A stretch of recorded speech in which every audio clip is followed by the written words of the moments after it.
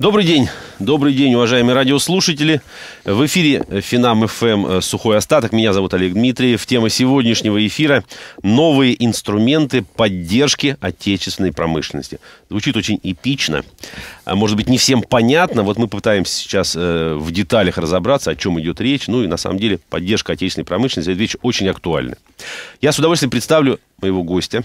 Сегодня в студии «Сухого остатка» Андрей Зверев, член Общественной палаты Российской Федерации, председатель Общественного совета при Минпромторге Российской Федерации, генеральный директор холдинговой компании «Росэлектроника» госкорпорации «Ростех». Добрый день, Андрей. Да, добрый день, Олег. Все правильно я произнес. Да, вот я вот так это э, с волнением я значит, сам очень, слушал. Я да? сам очень волновался, но как, видите... Как вы справитесь да, да. со всеми многочисленными моими титулами. Действительно, да? действительно, это так. Ну что ж, слава богу, давайте начнем. Значит, в качестве информационного повода, если позволите, я предложу следующую, следующую информацию. 31 января сего года министр промышленности и торговли Российской Федерации Денис Мантуров провел первое заседание рабочей группы по подготовке проекта федерального закона о промышленной политике Российской Федерации. Вот давайте отсюда начнем, Андрей. Федеральный закон, я так понимаю, до сих пор у нас не было федерального закона или он был в каком-то другом виде, и время такое, что сейчас его нужно трансформировать, э, так сказать, под, под какие-то реалии. Под... Нет, ну закона угу. не было действительно федерального промышленной политики, но было много других различных законов, э, которые регулируют те или иные отрасли деятельности, в том числе и деятельность промышленности. Угу. Я их не буду перечислять, их десятки. Ну, а я так понимаю, э, инициатива, о которой мы еще не говорим, да, она призвана каким-то образом структурировать, наверное, да, эти десятки собрать воедино. Я думаю, что, наверное, цель вот этого федерального закона, он не очень большой. Вот угу. у меня есть его проект где-то на 10 страничках. Да. Неплохо а, было бы его прочитать, конечно, да, да но у нас да, время да, времени не хватит. Не хватит, времени. конечно. Вот, а он, скорее всего, призван э, обозначить вектор. Угу. Ну, прежде всего, э, подчеркнуть, что особая заинтересованность государства в развитии промышленности, угу, угу. то есть обозначить это как приоритет скажем так, да. А, и второе, э, э, подчеркнуть ту мысль, что это является не только делом государства как такового, но и делом гражданского общества, э, и прежде всего людей, являющихся субъектом угу. этой самой промышленной политики, то есть это промышленные предприятия, объединения, угу. профессиональные союзы и так далее. То есть люди, которые вовлечены в сам процесс промышленного производства.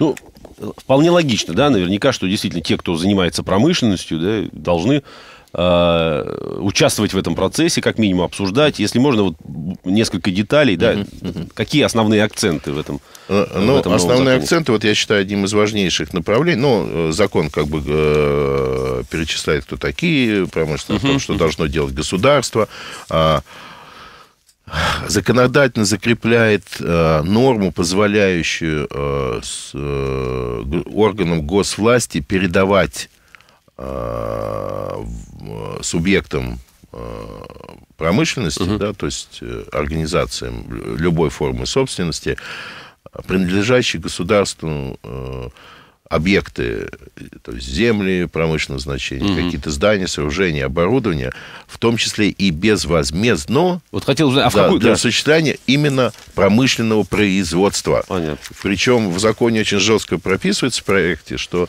в случае, во-первых, запрещена передача это любым другим субъектам деятельности. Угу. То есть нельзя, допустим, получить землю под строительство безвозмездно от государства под строительство там завода по производству, не знаю, станков угу. трехкоординатных или четырехкоординатных, и потом сказать, ой, мы передумали, знаете, мы здесь... Коттеджи а, будем строить. Коттеджи будем О-о-о. строить, да. Это будет, э, это отдельная вот статья в законе. На мой взгляд, там такая написана фраза, что государство может обратиться в суд а я считаю, что нужно написать не может обратиться в суд, а обязан конечно, обратиться. Обязано. То есть это обязанность органа государственной власти, который выдал вот угу. такую разрешение. Да, разрешение, вернее отдал этот участок практически, да. а он обязан обратиться в суд, а не имеет права. То есть да, вот на эта то, фраза... чтобы отобрать, да, вы э, понимаете, да? да, да ну да. имею право, да. Ну а я не пошел. Чиновник. А Конечно, почему ты не пошел? Ну забыл. Да, забыл. да, ну, например, Хотя мы да. знаем, да, почему он не пошел. Да, да, ну догадываемся. Можем, пред... сказал, да, можем предположить, скажем, мы же все-таки не орган дознания. Совершенно верно.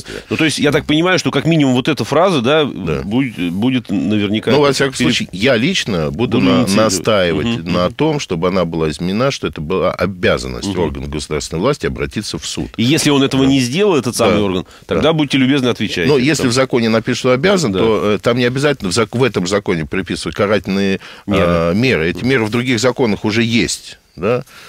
Уже да, есть. Да, Поэтому да. просто надо этот закон будет исполнять. Угу, правильно. Угу. Значит, вторая вот э, очень важная составляющая. То есть есть льготы для промышленности. Это очень важно. Да. Это очень важно. Я всегда настаиваю, что у нас должны быть обязательно, если мы хотим, чтобы мы из э, сырьевого придатка превратились в реально э, индустриально развитую державу, угу. да, там и не на десятом месте, там, по совокупной да, угу. валовому продукту, угу. ну, хотя бы в пятерку там третий, там, второй, ну, первый тяжело. Топ-лист Китай не обгонит, да? Да, да, да. Китай не обгонит. Сложно будет. Сложно. Ну, их, их просто много. Они, они просто физически больше производят, чем в 10, в 10 раз, да, могут, да.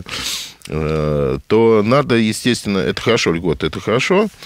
То есть надо поощрять, надо стимулировать, надо, да? Да, надо стимулировать, и это очень здорово, э, что они, эти льготы уже здесь прописаны. Тут субсидии прописаны. Вот, вот, а в каком формате льготы, действительно? Нет, значит, тут просто перечислены льго... Э, все виды льгот, которые государство может предоставлять субъектам э, промышленной политики. Угу. Вот, то есть организациям, предприятиям это субсидии, гранты, там вот это угу. безвозмездная передача земли и так далее. Там их ну, достаточно много, много, много.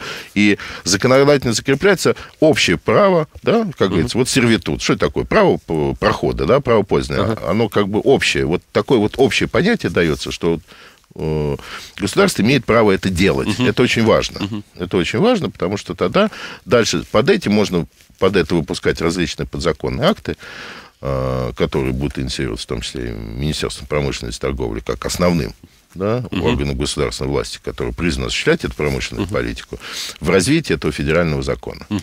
Значит, э, и второе, что создается, как же он тут называется, угу. совет.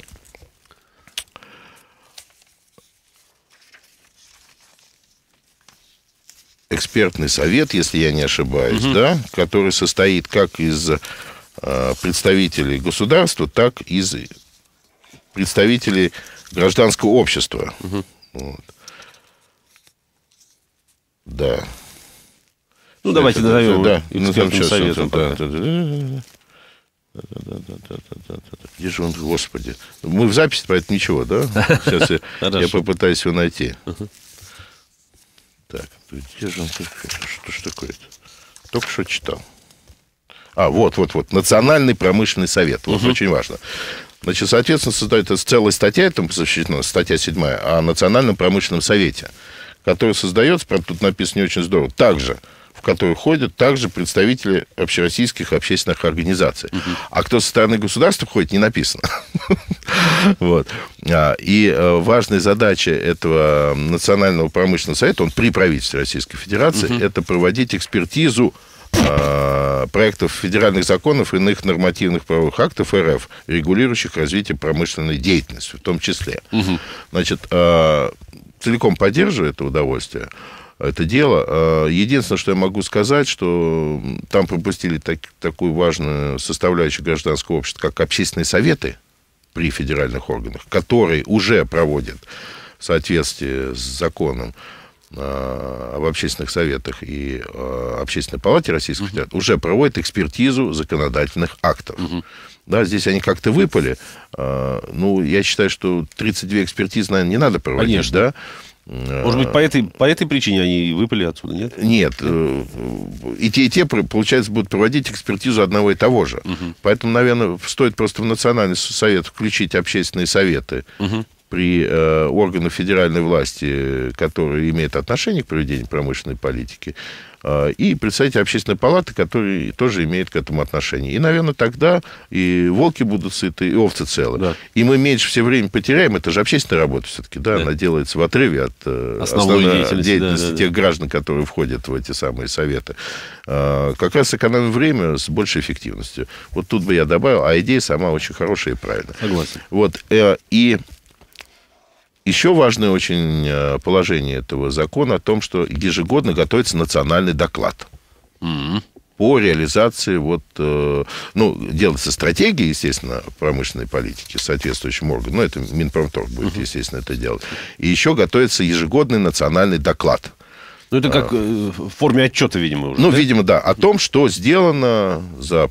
Год по развитию и стимулированию промышленности, как она развивалась, индексы там, угу. конкурентоспособности и так далее, и так далее. Вот единственное, что опять мне не очень понравилось в федеральном этом законе, о том, в проекте, о том, что вот этот готовится национальный доклад, значит, вот он обсуждается на Совете угу. по, по, по промышленной политике. А, он представляется в правительство, значит, правительство его читает, э, и он представляется еще в федеральное собрание и опубликовывается. И да, все. И все. Ну, я, я считаю, что как минимум данный доклад должен быть представлен президенту Российской Федерации. Конечно, конечно. Как главе всей исполнительной власти, для того, чтобы э, президент Российской Федерации понял, что у нас происходит в этой важной сфере, угу. и как минимум э, по результатам представления этого доклада должно быть расширенное заседание того же самого Национального совета, той же самой Госдумы, Совета Федерации, там администрации президента. Все это, на самом деле, я думаю, надо будет э, делать под председательством главы. Ну, вот моя угу. такое угу. мысль, что председатель главы нашей закон... Э, исполнительной власти, да, для того, чтобы просто эти итоги по результатам доклада, какие-то выводы были Конечно, сделаны. Вот самое главное. И даны поручения. Оценки же должны да, оценки, быть, да? выводы и поручения президента соответствующим структурам. Да Э, если это необходимо исправить, необх... да, да, исправить, дополнить, Совершенно. Э, как говорится, усугубить, да, и углубить, и, и углубить, да. и углубить. Как говорил у нас наш дорогой незабвенный да, Михаил да. Сергеевич Горбачев. Ну, это логично, конечно, да, если уж мы действительно да. от А до Я, что называется, да, да, да то не надо останавливаться процесс. на середине, да, да, да есть, Получается, есть правительство, есть э, гражданское общество, а президента забыли. Вот я считаю, это что, правильно. что будет правильно про него вспомнить все-таки. Да периодически вспоминаю. Да. Согласен, согласен, Андрей. Ну и э, на ваш взгляд, да, насколько все-таки э, даже в этом формате, да, продуманный, оправданный этот закон, и насколько он пойдет, найдет поддержку свою, потому что, собственно, это важный момент, что утвердят, не утвердят, примут в каком виде. Ну, я думаю, примут. Угу. Я думаю, примут, э, потому что он нужен, потому что его нет. Э, в нем даются определения вообще, и в нем дается вектор развития вектор развития и как, э, кто на этот вектор развития будет влиять, угу. кто будет ключевой. Конечно, можно говорить о том, что вот он закон такой рамочный, что он требует создания многих подзаконных, количества, большого количества подзаконных актов, но в данном но ну, случае... это, наверное, логично. Это да? логично. Надо с чего-то начинать. Да, это же не Сразу ядерная же... отрасль там, и не там, производство танков или еще чего-то. Да, это огромный, огромный механизм, состоящий из очень большого количества субъектов. Потому что промышленность, ну, это наше все. Это переработка сырья, там, это и добыча полезных ископаемых сюда в том тоже. Числе, в том конечно, числе. Конечно. Да, и хай-тек, и, и электроника, угу. и так далее, и так далее. То есть огромный пласт, который вот так вот в один закон не запихнешь. Безусловно. безусловно. А вот вектор, он задает развитие. И, и, и дает инструменты мониторинга и, так сказать, тонкой юстировки этого процесса. Понятно.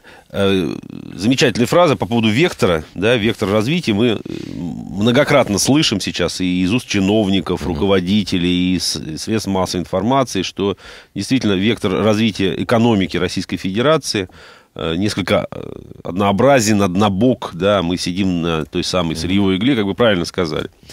А если все же более детально поговорить об этом, на ваш взгляд или с точки зрения, так сказать, законодателей, куда он будет переориентироваться, если это вообще возможно, этот самый вектор? И будет ли он переориентироваться, что самое главное? Вот, Олег, вы знаете, это такой, э, казалось бы, злободневный, с одной стороны, вопрос, Абсолютно. а с другой, он глубоко философский. Угу. Почему? Потому что на него нет ответа как на любой философский, да, ищем, да, да. ищем философский камень. Совершенно. Вот, э, ну, в советские времена я как бы так не обращал на это внимания, да, на то, что мы сидим на нефтяной игле. Но вот как только мы стали Россией, а это уже больше 20 лет, да, угу. я, я постоянно слышу, что мы сидим на нефтяной игле, и как бы хорошо с нее слезть и отправиться нам в модернизацию, угу. в инновационную экономику, и прорыв, и у нас огромный задел, и у нас великолепная научная школа, и самый читаемый народ в мире, и почему вот мы где-то там да, вот да, да. все никак не переориентируем нашу экономику вот, и не превратимся во вторую Швейцарию, там, я не знаю, кто у нас, Сингапур, там, ага. да, ну, или, там или Корея, много, там, ну, много, много примеров, примеров да, да, да, таких вот э, э, скачков. Андрей, а если позволите, угу. я, э, тем не менее, часто слышу, достаточно часто, и другую точку зрения. А зачем? Стать второй Швейцарией или Сингапуром, ну, сомнительное удовольствие, наверное, потому что в Швейцарии нет возможности сидеть на сырьевой, у них просто нет такого запаса, да. А у нас есть. То почему нам этим не пользоваться? Почему нет? Вот. Только, может быть, пользоваться надо это, этим более эффективно.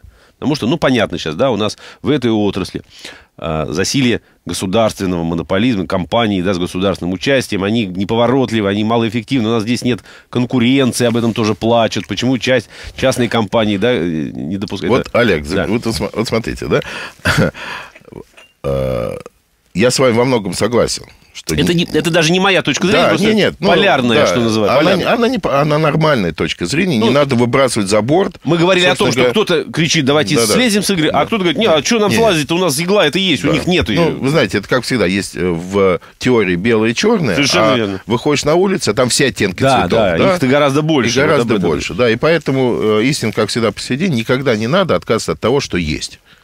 И говорить, что это плохо. Да. Вот вы сказали ключевую фразу о том, что нужно правильно использовать, рационально.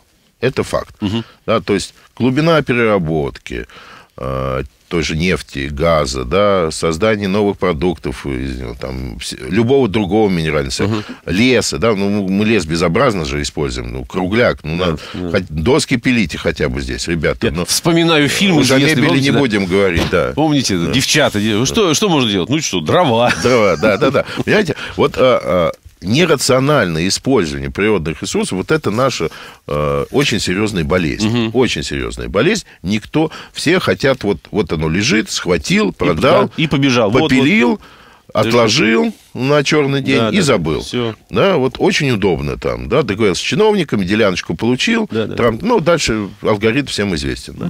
Вот от этого надо уйти, вот в первую очередь, да, это если что касается использования наших природных ресурсов. Uh-huh, что uh-huh. касается неповоротности компаний государственных, которые этим природным ресурсом владеют, э, ну, знаете, в свое время и до сейчас все кричат о том, как же безобразно, почему это все наше природное богатство находится в частных руках. Начало государство возвращать это к себе. Да, да, да. Все опять, ста... опять, опять плохо. плохо, да. Бонусы, золотые парашюты, да, да, да. жируют. Жируют за наш счет. Жируют но... за наш счет, неповоротливы. Ну, я вот как бы всегда смотрю на это все, немножко, так сказать, улыбаюсь внутрь. Ну, я говорю, товарищи, господа да. мои, э, как-то не сокамерники, а сограждане, сограждане, сограждане соотечественники. соотечественники. Опред... Чего же вам надо Определитесь, наконец, да, что, что, чего вы хотите чтобы чтобы это все было, или чтобы как вот, ну, как вот э, э, в арабских государствах, чтобы каждый знал, что вот он родился, и на его да. счет пошли нефтяные деньги. Но не получится так, нас слишком много. Угу да, и, и, а должно быть в два раза больше для того, чтобы мы успешно развивались, потому что э, внутренний рынок начинает становиться локомотивом развития со, где-то с 250 миллионов человек. Угу. Собственно, чем мы боремся за Евразийский союз, и за э, таможенный союз, угу. и за его расширение, да, не превращение в э, новую империю, угу. да, а именно вот по примеру Германии, которая создала этот общий рынок-то, для кого он создавался? Собственно. Именно она и создавала его, наш дорогой, наш дорогой союзник там и партнер, угу. Федеративной Республики Германии, для того, чтобы стать вторым в мире экспортером. У них же, по-моему, 40% э, всего экспорта приходится на ЕС. То есть она для себя сделала рынок да. 500 миллионов человек. Совершенно верно. Почему развиваются американцы? Да у них огромный внутренний рынок. 350 миллионов человек. Китай 1,3 миллиарда. Можно дальше перечислять. И Россия 140 миллионов. Угу немножечко рынка не хватает. Не хватает. Не хватает. Его надо очень серьезно расширять. Вот. А, и как бы вот баланс изъятия сверхприбыли, да, вот если возвращаясь к нашему вопросу, куда нам uh-huh, развиваться, uh-huh. вот из сырьевых вещей, да, рента там соответствующая и так далее. И вот правильные направления в развитии промышленности, ну, а, прежде всего перерабатывающие, обрабатывающие, uh-huh. там, э, фундаментальных исследований, угу. финансирования. Вот нахождение этого правильного баланса позволит нам на самом деле быстро двигаться вперед. Понятно. А не перекос. Вот это теперь на это да, плюнем, да. это будем развивать. Понимаете, так мы будем шарахаться и в итоге ничего не разовьем, угу. а только потеряем. Угу. Возвращаясь к внутреннему спросу. Угу. Э, я абсолютно с вами согласен. И пример с Евросоюзом, и пример с глобальными там какими-то, да, Америка... Э, глобальными экономикой, Америка, Китай. Угу. Абсолютно очевидно. А давайте вернемся. Действительно, вот сейчас э, вокруг разговоров о создании таможенного союза тоже, тоже очень много копий. А, насколько перспективно, с вашей точки зрения, все же создать его, этот союз? Не, ну таможенный союз создан. Угу. Таможенный союз создан, сейчас не стоит вопрос создания. Он, ну, уже, я, он да. уже несколько лет функционирует. Совершенно. Там с ним все хорошо. Мы просто, ну, простые граждане, им же все равно, э, как э, товар доставляется в магазин. Они Абсолютно. пришли, купили, заплатили деньги. Но он же прошел таможню, да, например. Угу. А вот теперь между Казахстаном, Беларусью и Россией таможен нет. Сейчас Армения туда присоединится. Тоже а, таможенной границы не будет. Да? Угу. Вот э, и единый таможенный орган у нас, как бы, и в Евразийской комиссии под, э, где председатель, бывший министр промышленности торговли, господин Христенко угу. возглавляет. Все эти вопросы решаются общей единой таможенной политики. Э, вопрос его расширения, то есть включение в эту зону свободной торговли все больше и больше числа стран. Вот. И неважно, вот Киргизия там, по-моему, должна войти, вот, насколько я знаю, с, с Таджикистаном обсуждался угу. этот вопрос. И предвосхищая как бы ухмылки слушателей, которые вот там Таджикистан, там, да, да, это же не Финляндия, да, но вы посмотрите на... Ну, имеется в виду ухмылки в, с какой точки ну, зрения? Ну, в смысле, что... вот берем какие-то экономики да, такие э, слабенькие. Не совсем развитые. Не совсем, не совсем. да, не совсем развитые. Угу. Ну, я бы их адресовал к, к, к тому же опыту общего рынка, да, Европейского Союза, да. Я бы не сказал, что там Э, Румыния, да, да, да. А, там, э, или вот там сейчас... Ну, юг Европы тоже можно... Сербия и Болгария да, являются такими да. замечательными развитыми экономиками, угу, да, угу. тем не менее их всех инкорпорируют, их всех датируют, но самое интересное, что потом в этот общий рынок, вот эти те, кто датируют в рамках общего рынка, эти, эти дотации обратно забирают, потому что товары они покупают там же. Да.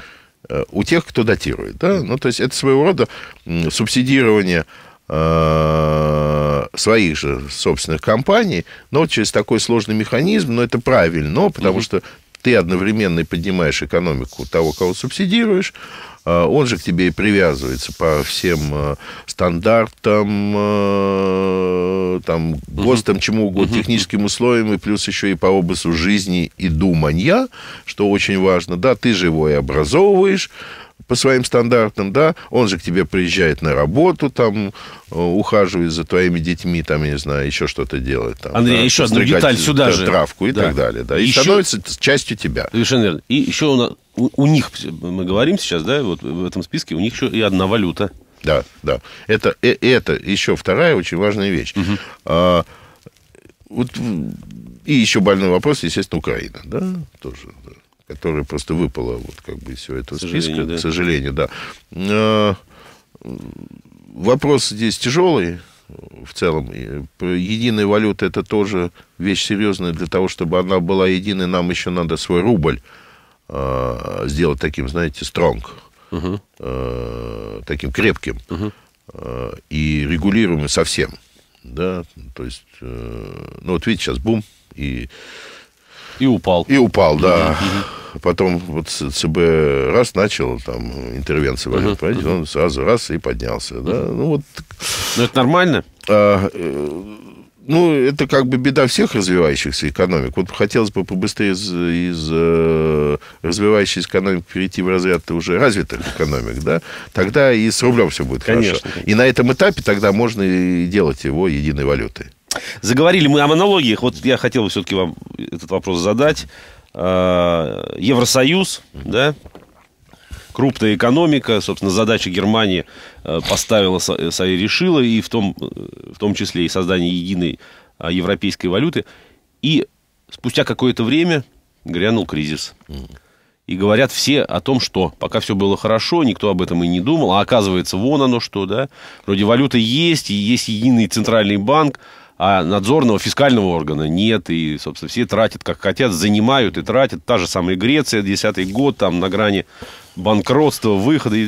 Вот это все обязательно должно произойти Ой. Э, в, в любой, я бы сказал, вот такой укрупненной экономике. Вы знаете, это может произойти как в укрупненной экономике, так и, и так не, и очень. не очень. А, просто у укрупненной экономики гораздо больше механизмов борьбы. Угу. Она гораздо более гибкая, чем маленькая экономика. Хотя, да? с другой стороны, да, большая экономика, а тем более, если говорим о Евросоюзе, она настолько многогранна, я имею в виду, да, каждое государство, это и ментальность другая, да, это и экономическое развитие другое, в общем, там много всего. Да, но, культурные традиции другие. Да, но если вы замечаете, они все равно приходят к единому стандарту. А, они же его жестко задали, вот uh-huh. тот же по самой единой валюте, это уровень инфляции, да. уровень госдолга, да, и, все, да. и это все странами соблюдается и очень жестко контролируется. А, Порой и, большим трудом, да, тем не менее. С огромным трудом угу. периодически. Но вы знаете, цикличность развития мировой экономики никто не отменял, и всегда есть и спады, подъемы. Да, да. Мы просто мало живем на этом свете, да. Чтобы и... можно было сравнить, да, да опыт да, какой-то. Да, живем-то здесь и сейчас. Но тем не менее, за кризисом наступает подъем, он уже есть. Э, он... Мы сейчас об этом с вами обязательно должны были подробно поговорить. Прервемся на рекламу и потом продолжим эфир. Итак, друзья мои, продолжаем. Сухой остаток на Финам ФМ. Сегодня обсуждаем новые инструменты поддержки отечественной промышленности. У меня в гостях Андрей Зверев, член Общественной палаты Российской Федерации, председатель Общественного совета при Минпромторге Российской Федерации, генеральный директор Росэлектроники, холдинговой компании Рос... Госкорпорации Ростех. Еще раз справился. Да, и во второй раз замечательно все произошло. Спасибо. Да. Спасибо. А, итак, Андрей, давайте продолжим. Э, действительно, а, ну, сейчас вот мы вновь аналогии, да, о Евросоюзе вспомнили. Вот. Нельзя не согласиться, это очевидно, что, собственно, а, любое развитие, экономическое в том числе, да, оно э, так сказать, постепенно происходит, вот растет, вот падает, вот кризис, да, боже мой, что такое? Гипс снимают, клиент уезжает, а потом оказывается, что кризис – это замечательная возможность, да, э, что-то пересмотреть, да, обновить, э, избавиться, избавиться от ненужного, от нену... да, и лишнего, да. Вот, вот давайте вернемся как сейчас. Как говорил кот Матроскин, чтобы купить что-то ненужное, означало что-то да. ненужное продать. Не, да? наоборот, он говорит, чтобы продать что-то да, ненужное, значит, ненужное купить. Вот, да. вот, вот. А тут есть возможность да. избавиться от него и деньги на это даже не да, да, да. Вот с этой точки зрения, на ваш взгляд, опять, да, мы оцениваем сейчас 2014 год, прогнозы, стоит ли на них ссылаться, не стоит, экономистов, замедление ВВП, к сожалению, да, у нас там уже не 1,4, 1,3 по итогам 2013 года, в общем, все как-то не очень оптимистично. И в то же время, смотрите, да, и на государственном уровне, с этого мы начали, и это сегодня обсуждаем, да, э, говорят о необходимости создания федеральных законов, говорят о развитии промышленности, э, вовремя это. Кстати, я вспомню слова господина Люкаева по поводу того, как вот начались эти движения в рубле. Вот. А, позицию свою глава Центрального банка, еще новая глава ЦБ, еще в прошлом году озвучила. Мы будем стремиться к тому, чтобы не э, контролировать да, курс, ну, то, о чем вы говорили. Пусть он плавает. Как, как, да, как и все нормальные Сам. валюты, да, пусть его курс устанавливает рынок, и мы будем отходить, да. поэтому расширяются границы коридора, поэтому меньше, все меньше и меньше интервенций, ну и динамика. Господин Улюкаев сказал так, насколько я помню, он говорит, все это правильно, но не вовремя. Забавно. Вы знаете, я уважаю очень Эльвиру Сахибзадна, она же, вы знаете, была и министром у нас экономического развития, и мы с ней так довольно Э, часто общались, поскольку она еще была членом стратегического комитета при наблюдательном совете Ростеха, угу. где мы проходили защиту нашей стратегии, и я вот от нее поимел там э, много справок, замечаний, ага. очень хороших и правильных. По делу. По, по, по делу, делу, да, по поводу стратегии. Э, и я хочу сказать, что есть как бы желание, да, что вот так надо. Да в принципе, да, и есть какая-то... Подождите, это... желание или понимание, что так надо? Ну, понимание, да. Все-таки основ... да, желание извините, основанное да, на понимании. да, есть понимание, что так действительно да. надо, вот, ну, с точки зрения экономики, с точки зрения экономической теории, да, профессионализм, да, это да, правильно, это... да, пускай плавает. А, а есть политическая и экономическая необходимость. Mm-hmm. потому что, э, ну, тогда так хорошо, когда вот уже очень большая, мощная экономика, когда все рыночные механизмы задействованы, вот как в Штатах, uh-huh. да, там, как в Германии, там, я не знаю, как в Англии, да, ну, хотя бы, ну, сто лет будь в рынке. Да, вот после этого уже можно как бы, ну, пускай... И кризисы, кстати, переживать, наверное, легче, это да? легче, да? пускай плывет, да, потому что есть внутри механизм самоочищения, саморегулирования, вот тот огромная прослойка э, среднего и малого бизнеса, которая на самом деле двигает вперед те же Штаты, там, Англию, Германию, неважно кого. То есть есть зай- зайбацу, г- громадные корпорации, а есть и бизнес средний, малый, в Да. нем очень большое количество людей задействовано, они понимают, что им делать, и в том числе и в кризис, да, вот это все очень быстро двигается. Э, Вот когда мы до этой степени развития дойдем, да, тогда можно сказать, да, черт с этим курсом, пускай плавает как хочет. Потому что он уже не будет так плавать. Абсолютно Он не будет таких скачков гигантских, да. А а пока это очень чувствительный вот курс, хотя мы живем, мы платим рублями, это же эра 90-х закончилась, мы же долларами не расплачиваемся в магазинах. Ну, мы э, Люди получают зарплату в рублях. Согласен. Но с этой платим- точки зрения мы говорим, что у нас э, очень много импо- импортных товаров, да, Да, так их станет долларах- меньше, слава богу, в этом А случае. станет ли? Вот, кстати, опять еще Станет, одна аналогия. конечно, Смотрите, конечно. 98 год, не дай бог, конечно, но мы вспоминаем, да. Там более драматично, но тем не менее, да, мы говорили резком смене э, стоимости национальной валюты. И это в конечном итоге, опять возвращаясь к вашим словам, в какой-то степени да, стимулировало восстановление национальной, э, национальной промышленной, национальной экономики. Ну, то есть национального производителя. Да, он стал конкурентоспособен. Произойдет ли это сейчас? Да, так Потому это и что- происходит. Это и происходит. Олег, это и происходит. Но это, это математика просто. Я прихожу в магазин, мне дешевле куп- купить э, вологодское масло, настоящее вологодское, чем финское, привезенное из Финляндии. Дешевле. Один из уважаемых экономистов здесь, сидячи недавно, буквально сказал, это неправильно, это некорректная аналогия, потому что в 98 году было э, что восстанавливать. Еще с советских времен осталось. А сейчас, говорит, ничего не осталось и восстанавливать нечего. Где, где живет этот экономист? Нет, я вам не скажу. У нас, извините, за прошлый год, за 13-й, э, основной рост дала, дало сельское хозяйство, которое по утверждению тех же многих отечественное, стран, да, отечественное, 18% плюс, которого нет, как говорят наши некоторые экономисты, Вот, вот, да? вот, именно в том так. числе, которые сидели в данной студии, не Да. хочу никого обидеть, да, а и строительство, опять же, наше, здесь которое, поэтому, я не знаю, все есть на самом деле. А если уж будем, даже не будем говорить про ОПК, да, оборонно-промышленный комплекс, к которому я А, кстати, бы тружусь. есть смысл все-таки поговорить Да? про ОПК, Ну, давайте. потому что недавние цифры опять, да, что мы на третьем месте теперь по э, объему экспорта Да, вооружений. да, да. Этим стоит гордиться, мне кажется. Да, на втором. Второй, Второй, второй, второй, после США. серьезно. США, потом Россия. А, значит, И за прошлый год, если я ошибаюсь, 14 миллиардов. Официальная цифра. Долларов, долларов США. И причем удвоились по сравнению с 2005 годом. Ну, я могу там чуть-чуть соврать, я прошу у всех сразу прощения, если немножко не точен. Ну, потому что, ну, все в голове не удержишь, не в как ц- бы да, не, да, не, не- не- не моя тема, скажем так. Дело да. не в конкретно, ну... э, Да, не в- вдвое, не в вдвое, конкрет- вдвое. не в кон- Увеличились, за вдвое. 10, ну, за 8 лет, вдвое. Да. Вот это как раз еще, да, э, один из таких позитивных примеров. Есть Это, мы я считаю, о- это одним из позитивнейших примеров, потому что на самом деле хотим мы этого, не хотим, как бы не хотели мы от этого убежать, а мы хотим от этого убежать, да, все-таки в э, частную инициативу в э, тяжелой промышленности, в э, оборонной промышленности, неважно, в общем, во всем, что связано с, не с продажей, не с куплей, а с тяжелым трудом на, вот, по вытачиванию различных гаек, да, все-таки в частную инициативу идти, все-таки это все бремя несет государство, и ОПК, оборонно-промышленный наш комплекс, является основой этого развития все эти предприятия, в том числе во многом входящие в Ростех, но я могу еще упомянуть Алмазантей, такой крупный холдинг, да, АФК Система, который тоже имеет там помимо МТС еще очень большой серьезный кусок э, э, в этом направлении, да, там э, объединенные судостроительные корпорации, объединенная авиасоци- авиакорпорации, да, то есть вот эти все как монстры, как их принято называть, это, скажем, один из ключевых игроков в, в создании вот новой промышленной державы под названием Россия. Понятно. И она успешно развивается, государство очень много заказывает сейчас вооружение, да, военной техники, э, жестко контролирует исполнение, это на контроле у президента страны. Вы знаете, вот в Сочи он недавно совещание провел по этому вопросу, где-то месяца три назад. Ну и постоянно к этому возвращается, да, под жестким контролем находится. И там, слава богу, все вот сочетание кнута и пряника дает свои положительные результаты. Здорово. Да. Здорово. И немного времени у нас осталось, и я хотел бы ваше мнение э, услышать. Мы, собственно, об этом даже и заговорили, упом- упоминая, правда, сейчас э, Соединенные Штаты, ну или там о Европе вспоминая.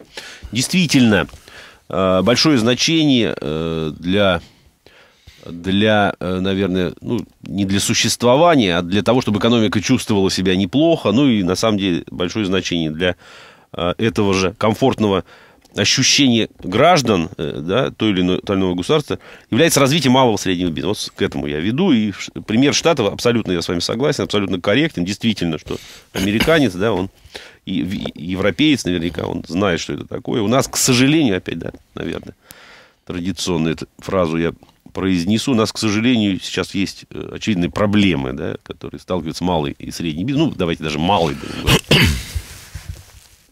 Вот на ваш взгляд, в принципе, может быть, э, в чем, ну так, стратегически не, не доходит руки у государства? Он занят более глобальными э, вопросами, да? Или, в принципе, как-то, я не знаю, э, на ментальном уровне не хочет на, на, наш с вами, да, соотечественник затевать бизнес, а привык он работать на дядю. В чем здесь дело? Как вы думаете? Ну, знаете, я думаю, что, ну, первое, государство абсолютно четко понимает, что надо это дело развивать. И есть на эту тему и выступления, и законодательные акты, там, закон о предпринимательстве, знаете, там. Да, да, да. Все, все, все, все замечательно, хорошо понимает. А, а, ну, это как всегда, да, строго наших законов компенсируется да, да, тем, что их не исполняют, да. Возможность их Возможность неисполнения. неисполнения, да. Так и в данном случае происходит, да ну, то ли в силу того, что территория большая, мало населения, то в силу какого-то менталитета российского, что пока гром не грянет, мужик не перекрестит и так далее. Все это развивается ни шатка, ни вахта, uh-huh, да? Uh-huh. А поскольку, э, ну, как бы вот так сложилось, я так понимаю, все-таки с советских времен психологии, что живем здесь и сейчас, а то, что завтра, в общем-то, наплевать, то каждый маленький чиновничек и тот, кто при власти, uh-huh. пытается урвать сейчас он не, не работает, у него нет стимула на завтра. работать на завтра, угу, на развитие страны, на перспективу. То, что очень хорошо в Китае построено, хотя там проблема коррупции тоже стоит достаточно Конечно. остро. И, может быть, чуть-чуть поменьше, чем у нас, но, уверяю вас, там серьезно это все. Но, тем не менее, они двигаются, потому что каждый понимает, что чиновничек на своем месте, если он будет мешать развитию вот именно этого малого и среднего бизнеса, он будет получать по ушам. И поэтому надо государство, и государство надо раз и навсегда определить все-таки, что мы развиваем, какой малый и средний бизнес uh-huh. развиваем. Uh-huh. Вот я ставлю на позицию, что мы все-таки развиваем малый и средний бизнес инновационно-промышленный, а не торгово-закупочный. Uh-huh. И там э, сфера услуг. Торгово-закупочный, сфера услуг, он развивается замечательно, несмотря на весь идиотизм там, налогового администрирования, да, да, да, произвол чиновников, там, поборы и так далее. Вот он почему-то живет, развивается и хорошо пахнет приятно очень, да, с дорогим парфюмом да, заграничным, да. да. И это все видят прекрасно, да, и магазины, и рестораны открываются, uh-huh. все они жалуются, как им все плохо, как им там замечательно. Везде, где есть наличный оборот, там бизнесмен себя чувствует великолепно. Uh-huh. Да? А, и плюс затраты не такие большие. Все, что касается производства, а, никуда не убежишь, вот ты всегда здесь, никуда ты не переедешь, твой угу. юридический адрес является твоим фактическим адресом нахождения да, твоего да, бизнеса. Тебя а всегда... потом у тебя, я не знаю, там какое-то тебя... предприятие, у тебя да. фабрика, завод. Да, тебя всегда могут пощекотать за конечно, гондурас, да, чтобы понять, чем ты там дышишь, да. То есть вот, вот ты работаешь реально. Mm. И вот я считаю, что вот этот бизнес, его просто вот невозможно изменить, на мой взгляд, менталитет э, советского чиновника, который во многом еще остался сейчас. Да? Не так много времени прошло uh-huh. со времен Советского Союза. Uh-huh. Невозможно. Значит, что надо сделать? Надо убрать чиновника из этой сферы. Просто, просто сказать, ребята, uh-huh. для всех промышленных предприятий, малого и среднего, вот э, налоговые каникулы. Uh-huh. Гуляем, ребята, от вольного от, от, от сегодня, от нуля часов московского времени на 10 лет вперед. Угу допустим. Но не дашь результат, отберем все к чертовой матери, весь твой бизнес. Например, я сейчас утрирую. Ну, тем не менее, вот позиция понятна. То есть нужна радикальная мера, абсолютно, совершенно. Я думаю, в Китае примерно так все происходит. Так, так они полстраны отрезали и на 10 лет освободили от всех налогов. И вот, вот глав... экономическое... А главное результат. Вот результат, да. да, да, да. У нас надо больше кнута, но, тем не менее, я думаю, вот здесь есть выход. Я понял. Андрей, огромное спасибо. Вот это ключевая фраза нашего эфира. А, я вам за нее благодарен. Есть выход. Есть Конечно. Надо просто двигаться. Большое спасибо. Андрей Зверев был сегодня в студии Сухого Остатка. Спасибо вам спасибо. огромное. Уважаемые слушатели, вам спасибо за внимание. Всего хорошего. Успехов в бизнесе. До свидания. До свидания.